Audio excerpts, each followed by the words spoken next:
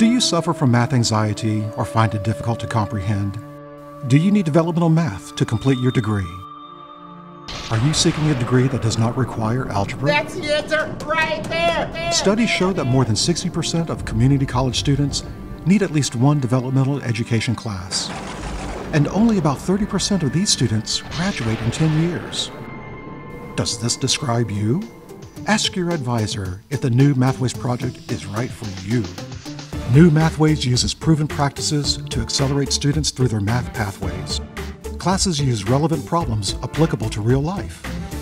It's really good for students because you're still getting more help on math that you're struggling, but yet you get the opportunity to go to the next level of math instead of staying behind. I would recommend this course to another student so they get helped with their math instead of being frustrated. It's hard, but you, you'll still understand it. You'll find a way. Faculty use proven classroom techniques, including hands-on practice, in a supportive, non-threatening environment where students are encouraged to discover answers themselves.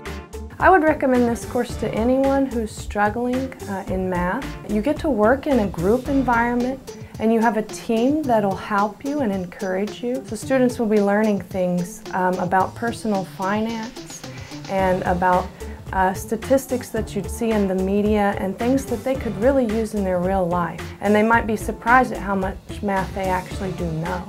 Eastfield College is part of a research study to see how students do in the new Mathways Project classes. Space in the courses is limited. If you are eligible and you sign up for the study, you will be entered into a lottery and have a 60% chance of getting into the new Mathways courses. All study participants will receive a $25 gift card.